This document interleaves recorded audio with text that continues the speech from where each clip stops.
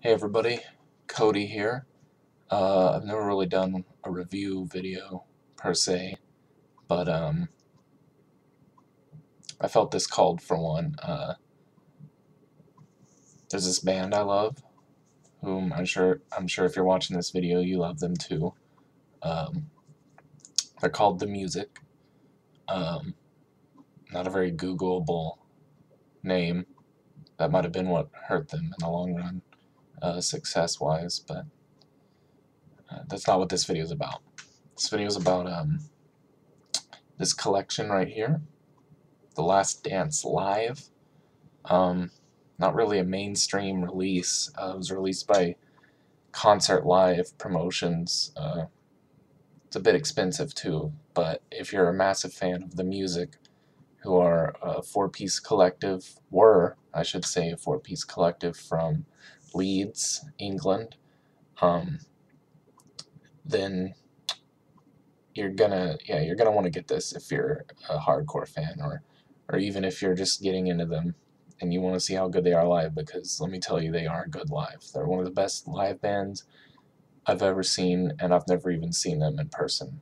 Uh, I'm an American fan. I think they toured once here with Kasabian and I didn't know of, of either band at that point in my life. I was like 15, and yeah, I missed out on a great opportunity because over the last few years I've gotten really into the music. Um, they're they might even be my favorite band at this point. Uh, I listen to them so much, and uh, as I was saying, I've never seen them live in person, but I've seen their uh, all the various live videos on YouTube, and then I immediately went out and bought uh, Live at the Blank Canvas from 2003, I believe, uh, which caught the band in their more primal stage. Uh, I think it was their homecoming gig following the release of their debut, which is a classic in my opinion. Go out and buy it along with their other albums. And then uh, my favorite live DVD of theirs, Welcome to Japan, which was for the uh, I think 2005 tour of uh, well for Welcome to the North, which was their sophomore effort. Um, that's definitely my favorite live DVD. Uh, it's just amazing, just flat out amazing. I don't even understand how a band can get a live sound like that. To be honest, uh, it just floors me every time. I, my mouth is gaping wide open at the end of it. Um, but yeah, they had those, and uh, I was a bit surprised after they broke up, as you may or may not know. Hopefully, if you're a big enough fan to be watching this video, you know of their demise. And um, yeah, they uh, this release, The Last Dance Live, was actually it actually documents their last two I believe, the last two shows. Um, it's the O2 Academy or something like that. Uh, like, as I'm sure you know, I'm an American fan. I, I don't know much about their origins, really. Uh, I've never been to England. I don't know much about that. I just listen to the music, and I love every song they've released, and uh, yeah, so I don't know much about their homeland or anything, like in terms of if that's even a famous venue or what have you. But uh, it they played to a sold out crowd, I believe, at the Leeds Academy for this live DVD, which is what I should probably get to four minutes in. I mean, that's what it's all about. Um, it, uh, try not to lose my train of thought here, but uh, there's just a few things I want to cover about it, and it's hard to even sum up something this good. Um, after Strength in Numbers, their third uh, official LP, I I was hoping that they would have another live DVD release to document their strength in numbers live era, you know, when Rob had shaved his head and all that, and Uh, they they were a different band almost, and I, I just I always hoped that they would release something that would show that that side of them, that dynamic, uh, because you know you have Blank Canvas, which uh, really shows how they were when they were younger, when they were starting out, uh, the way they sounded for the release of their debut, and then you had Welcome to Japan, which, uh, like I said, in my opinion, that's when they had perfected their live sound and they were really at their peak, and it showed a maturity and they uh, smoothed out all the all the rough edges uh, and delivered something great there. Sorry, I heard a noise.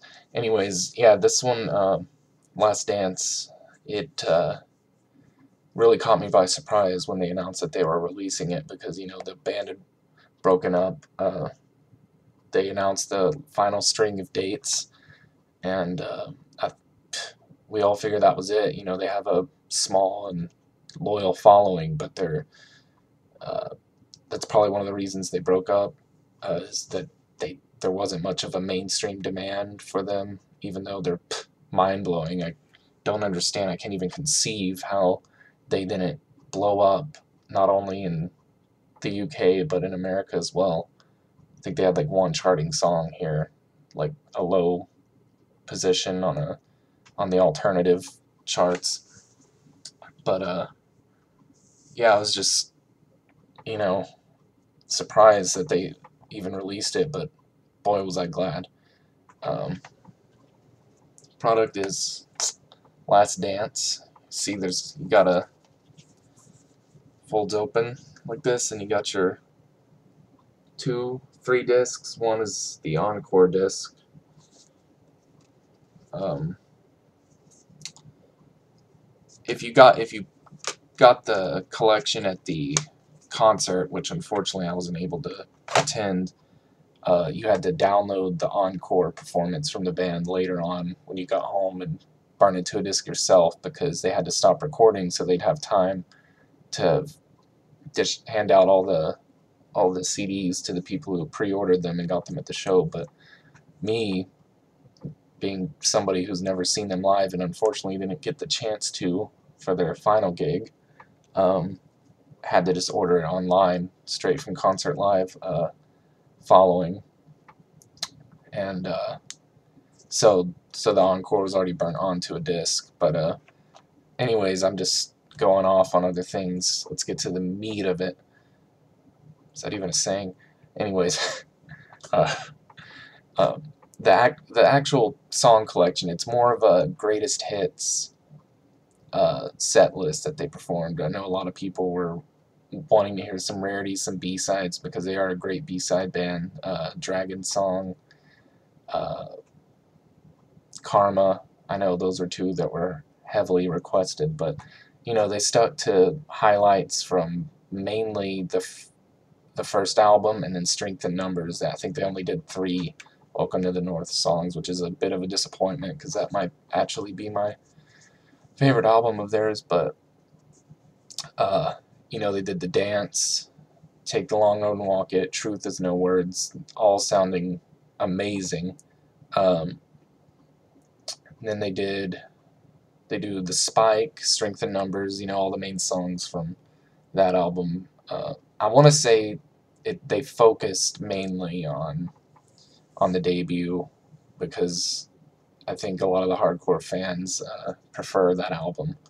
Uh, it's not my favorite, but I can see why uh, uh, that it, they would produce a, a, more euphoric live sound and get the crowd really pumped and going for uh, in that kind of setting, especially it being their final show ever. Hopefully not, but that's what it's billed as. Anyways, um, go out and get it. It's a little expensive. Uh, maybe the price is a little has been reduced since then, but if you're a true fan of the band, this is a must-have. Uh, like I said, I don't think it's as good as Welcome to Japan, but it's definitely um, essential to your collection if you if they're even in your top 10 favorite bands, which hopefully they are because they're amazing. Uh, the live sound of the CD could be better. They, you know, for the price, you'd expect uh, the recording to be a little bit more professional, but it sounds like a, you know, upper quality bootleg. Uh, the Brixton recording, uh, let me make sure I tell you this before I go. Uh, the Brixton uh, recording, which was not the show that was filmed for the live DVD, that was the uh, the Leeds Academy concert. Uh, the Brixton one, uh, I, if you're a hardcore fan like me, it's it you're gonna want to have it. But if you if you can only afford to or just want one, uh, definitely go for the Leeds uh, music CD uh, before you go jump for the Brixton one because uh,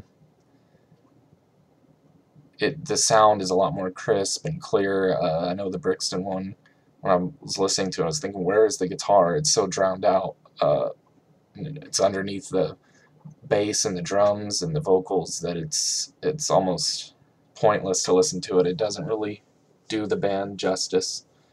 Uh, plus, the actual performance was better. The final night, the the audio that is from the the DVDs con uh, show.